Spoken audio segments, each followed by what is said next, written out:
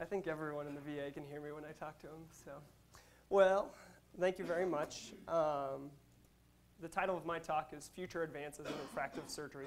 The future is in sort of semi quotes because the two things that I will possibly talk about, certainly the one, depending on how much time we have, uh, people are already doing both of these things. We're just not seeing them in the US. This is a picture from Nepal. As a fourth year med student, I spent a month out at the Tilganga Eye Institute.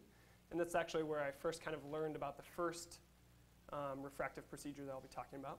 So that I don't forget, um, acknowledgments are very important to this talk because a lot of the information, data, and a lot of the images um, are courtesy of Dr. Reinstein as well as Dr. Kishore, um, who are both kind of worked in conjunction to set up the eye center and the refractive center in Tilganga, and then Dr. Mehta, Singapore, and Dr. Moshirfar here, who I spoke to a little bit. So the outline of my presentation um, we'll see if we get to the bottom half with time. We may just do the top half. But what I'd like to talk about is small incision lenticular extraction. It's named SMILE. It's a procedure that's been around in, in the literature for about the last three to four years and present some of the initial data as well as some of uh, data that's not published yet but is out of Nepal and has a little um, more power to it in terms of the numbers of patients. So what is SMILE? I figured before we start talking about it, it would make most sense to try to figure out exactly what it is. So first I'll show you a little animation, and then we'll show you kind of a surgical video. In essence, what you do with the procedure, it's an all femto refractive surgery, and so you cut your, cutting a lenticular lens, so you cut the posterior surface first, and then cut an anterior surface with the femtosecond laser. It pr produces a lens-shaped or lenticule. Then you make a about a four millimeter side cut incision with the femtosecond laser as well. This animation doesn't show. It will just pull that out.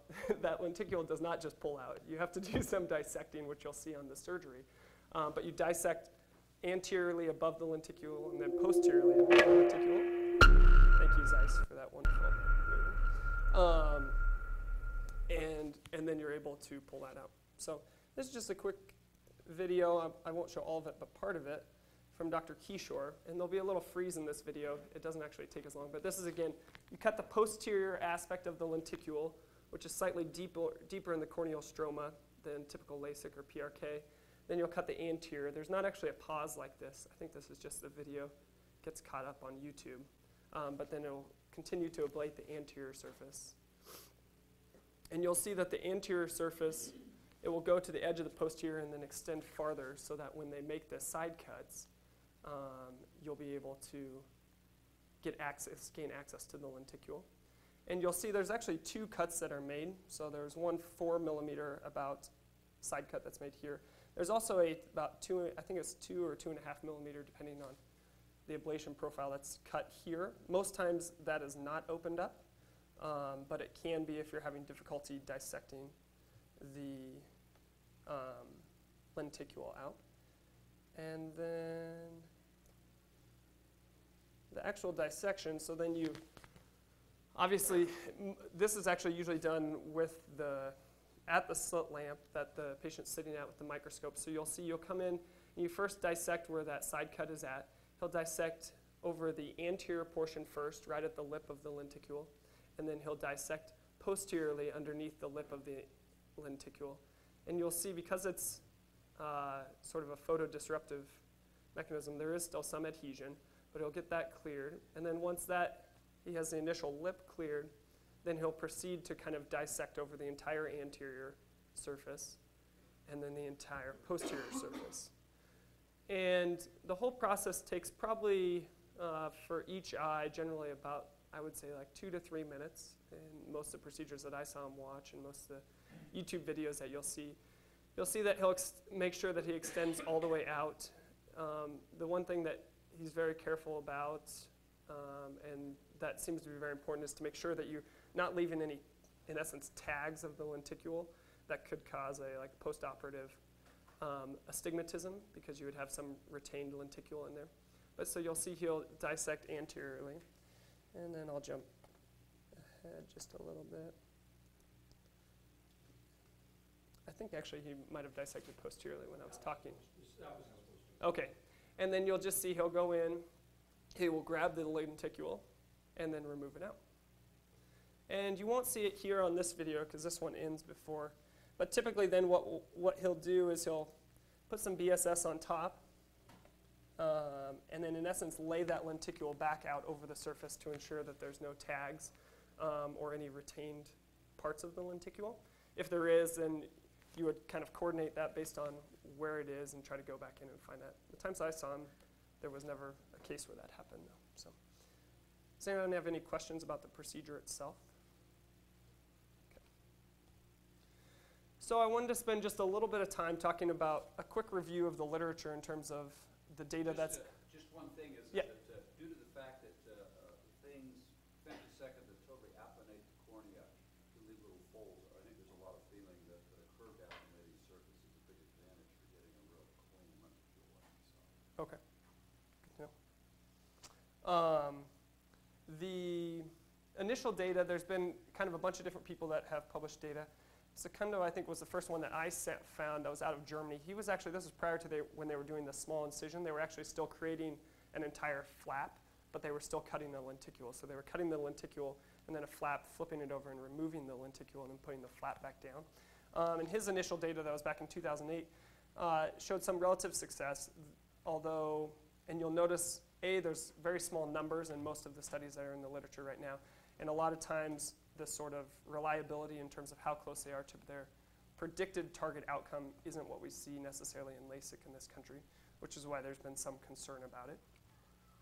Dr. Shah published kind of the first, to my knowledge, the first data that was on the actual small incision portion of it.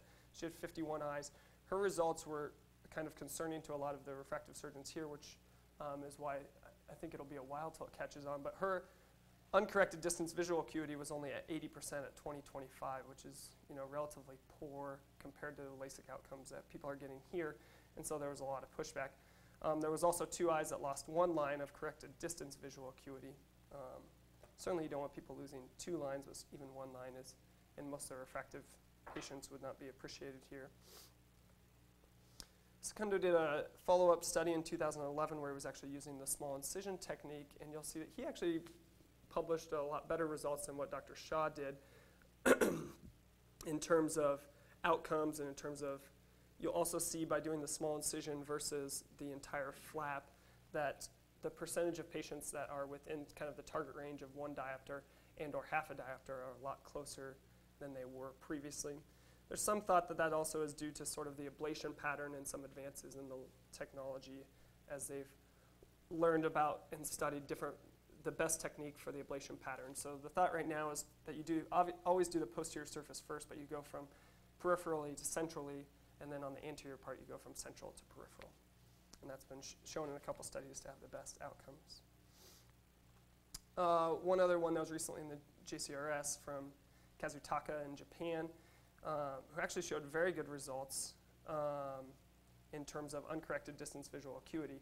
And I didn't really see in looking over that paper a great explanation for why they felt like they were getting so much better results than what's been previously published by Dr. Shah as well as um, the group in Germany. But they had uncorrected distance visual acuity of 20/20 in all of their patients, which was 38 eyes.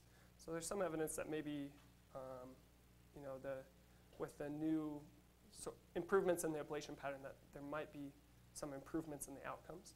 Also, interestingly, I thought they did two other things that they wanted to check on. First was the stability of the manifest refraction, and so they only have six months follow-up, but you'll see that the, you know, at the like about one week to one month um, time period compared to the six-month time period, you have pretty good stability in terms of the uh, spherical equivalence of their eye.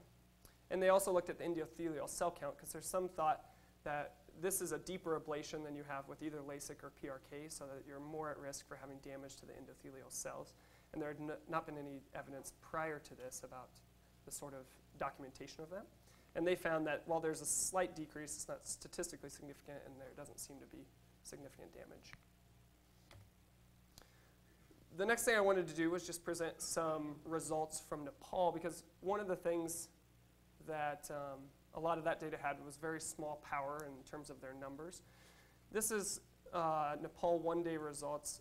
You'll notice that the N on some of these results is different, and that's mostly because uh, some of their data they haven't kind of gotten through. So I talked to Dr. Kishore and got some of it, but not all of it. And it's not published, so it's also, there's some, you know, it obviously isn't peer reviewed yet and been completely looked at. How This- many eyes we talking about? So this is just 75. The next, Seventy-five for the entire full. This is- this is for the smile part. And actually, you'll see, I don't know why they don't have more one-day data, because the next one, which is one month, they have 320 eyes in the smile, um, which we'll go over. But as a demonstration, the, the point being that their results in terms of a one-day prognosis are similar to LASIK, and, and the thought process is similar to PRK, or unlike PRK, you're not disrupting the epithelium, and so that the, these patients typically do have relatively decent vision at day one already, which is um, something that's appreciated. Their one month data, again, I- don't have a good explanation for why the ends are so different, but this is looking at, I think he's done close to 800 now in the entire year. So this is kind of the first three quarters of the year, the data that they've processed and looked through. But 320 eyes and smile and 118 at LASIK. This is all at their refractive center there. And of note, what you'll see is there, if you're looking at post-op uncorrected distance visual acuity compared to pre-op corrected distance visual acuity, the results that they're getting in terms of LASIK and SMILE are relatively similar. Um, he doesn't have the six-month data or year data available yet, and obviously that's will be important to look for. Um, but it seems that the data is definitely better than what Dr. Shah was initially reporting, and that there may be some future for this. Predictability is also an important thing. This just shows some regression models and just demonstrates that both with the LASIK and the SMILE, you're getting kind of similar predictability in terms of your outcomes.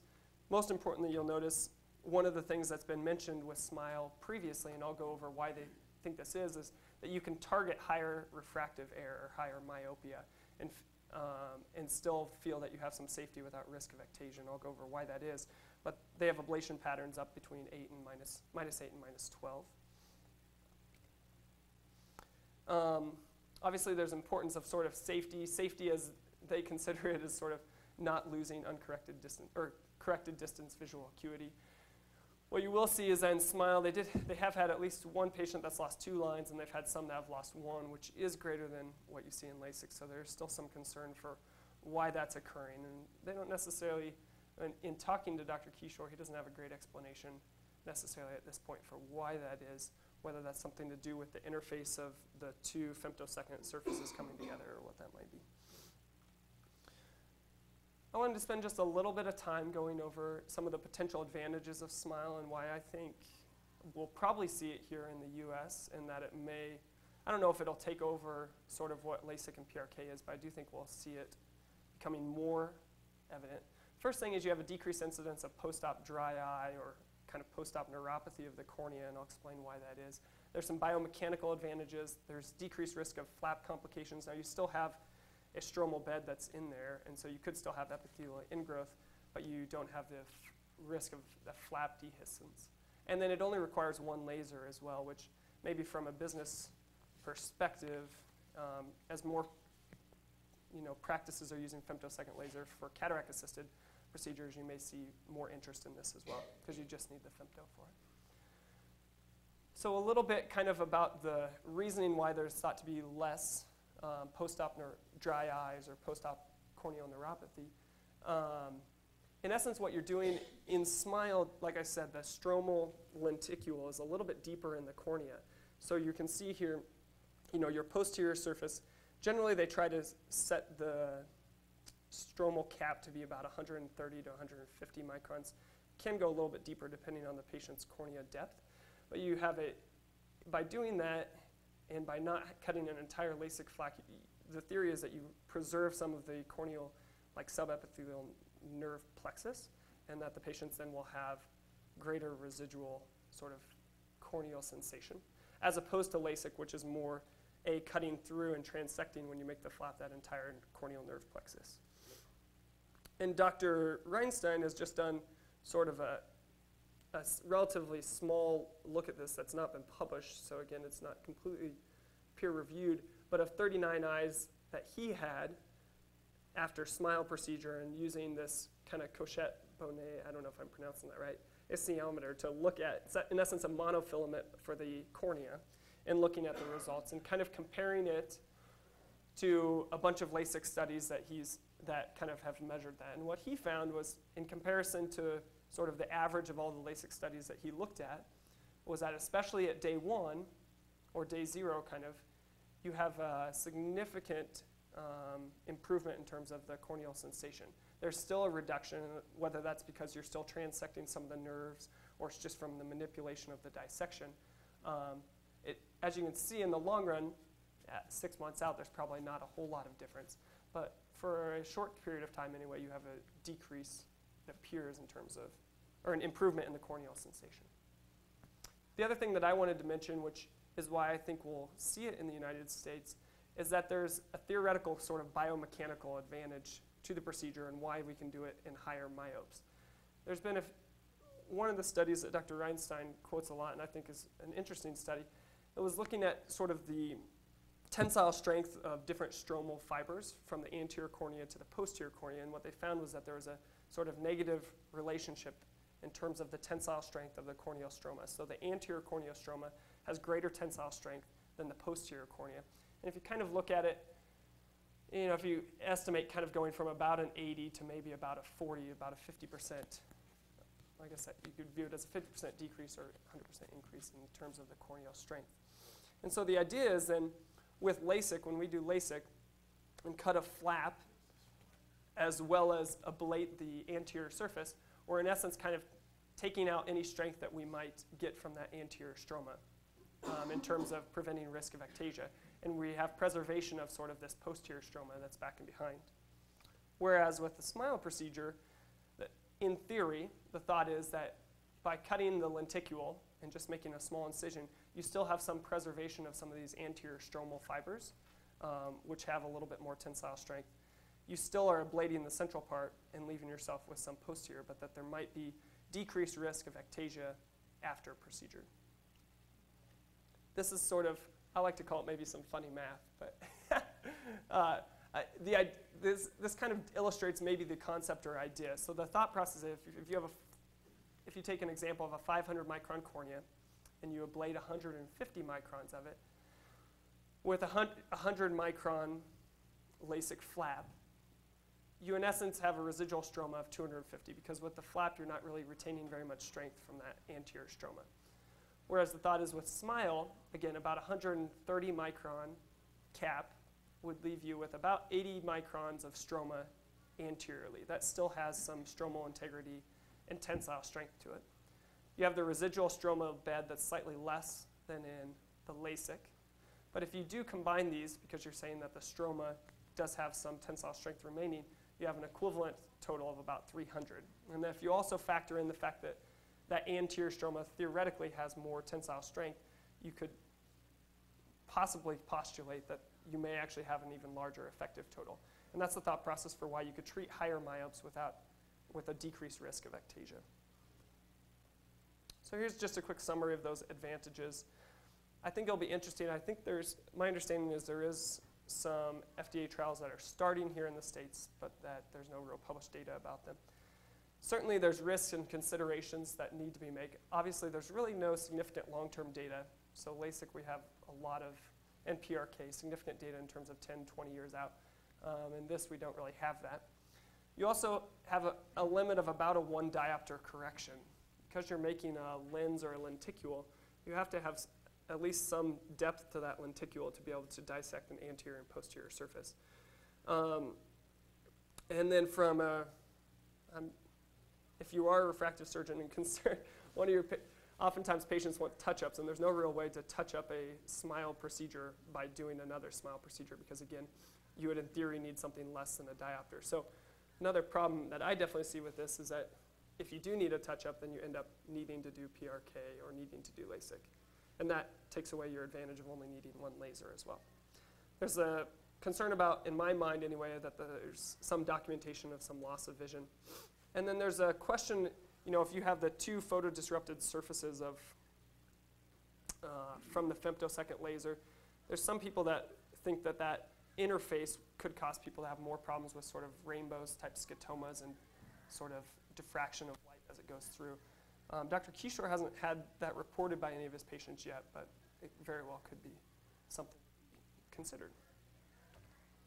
Um, future directions of this procedure that I think are worth noting. So the group out of Singapore is actually currently doing a randomized non-inferiority trial between SMILE and LASIK that hopefully will be published here in the next year or two. I think it'll be interesting to see the results of that and try to establish whether there is a difference between the two. Um, currently, like I said, there's no real published large data sets. I know that Dr. Kishore is planning on publishing his results. I think once he gets, it was about 800 patients kind of total to compare. Um, and just because I thought it was really intriguing and totally off the wall, there was also a, a group that studied the feasibility of actually reimplanting the lenticule. They did it in rabbits, but they actually took out the lenticule, uh, stored it for like 28 days, and then reimplanted it and looked for any sort of interface issues or inflammatory reactions. And then after they had reimplanted it for 28 days, they uh, killed the rabbits and investigated them and kind of took a look. And they didn't see any sort of interface or inflammatory reactions. The thought process is that maybe you could preserve those and save those if the patient did develop ectasia, that there might be some. I don't really think that it would be of benefit, but who knows, maybe in the future sometime there'll be something. Um, with that, I will not go. I was going to talk about laser blended surgery for presbyopia, but we don't have time for that. So I'll just end on my public service announcement from Nepal. And this is to make sure that my talk is relevant to everyone. So you need to make sure that you're eating your fruits and vegetables because if you're an anterior segment surgeon, if you don't, you're going to get cataracts. And you'll also probably get macular degeneration because you're not having your vitamins. And Dr. Crum will be very interested to know that your skin gets horribly worse and that you probably are going to need eyelid surgery. And from a neuro-ophthalmologic standpoint, they definitely have vitamin deficiencies that could cause neurologic findings as well. So I will end there so that we end on time and just ask if anyone has any questions at this point.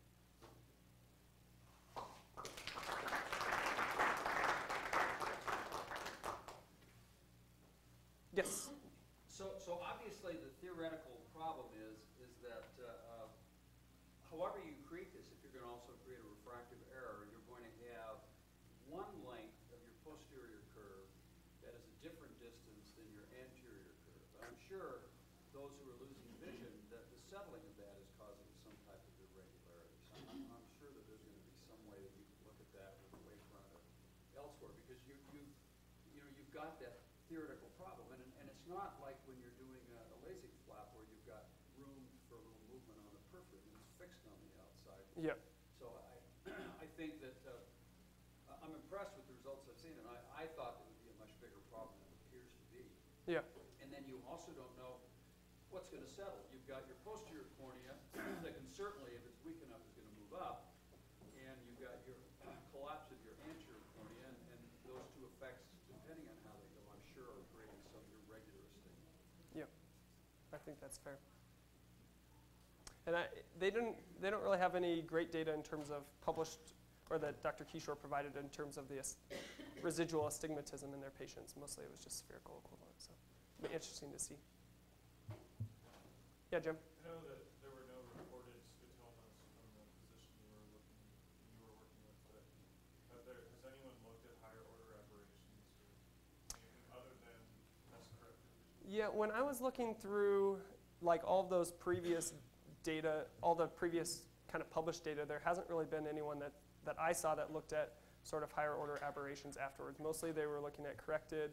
There's a few people then that then started to do the endothelial count and looking at OCTs of the interface, but I haven't seen any published data. There have been some reports and sessions and the rest, and there's definitely an increase in higher aberrations. And that would make sense. How important those are, but, but I- I'm, I'm sure that there's gonna be some qualitative difference. Uh, and remember, if you're looking at qualitative difference in regards to vision, uh, often Snellen visual acuity, even It's doing not the best. refinement, is not the perfect way to look at that. And so I think subtle ways of looking at contrast sensitivity are, are certainly gonna be a more powerful way to take a look at this.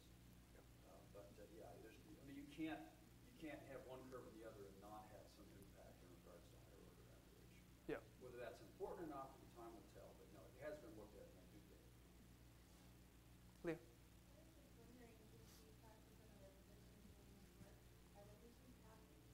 Yeah, yeah. I mean, so when I was out there, I, I think I watched about 20 of them. And yeah, I mean, most of the patients, you could see kind of from the post-op data, but most of them day one were like very happy. And they sort of have an interesting setup in Nepal where they're trying to do a lot of them. And so they have pain patients, but they were also doing free refractive surgery on patients as well. Also be interesting to see if you start to see sort of medical tourism related to that. It's sort of an aside, but you can go and have smile done for I think about like 400 or 500 US dollars in Nepal. So you could have a pay for your flight and have it cost about the same and get to go to Nepal. So uh, do know that uh, uh, the Victus that B&L has, as well as the LenSx, uh, are all set up and they can do this procedure. They have the curve interface, they have the ability in a slight downside to the water interface machines that may be advantageous somewhat for cataract, but they, they could not do this kind of corneal. And in Europe, I know the Victus is already doing it. doing it.